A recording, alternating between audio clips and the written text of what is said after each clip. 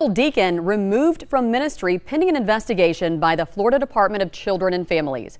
According to the Catholic Diocese of Pensacola Tallahassee, three students at Little Flower Catholic School in Pensacola filed a complaint against Deacon Tom Gordon.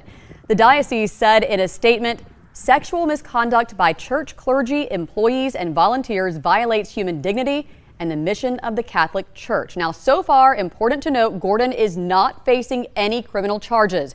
We did try to contact him, but have not heard back.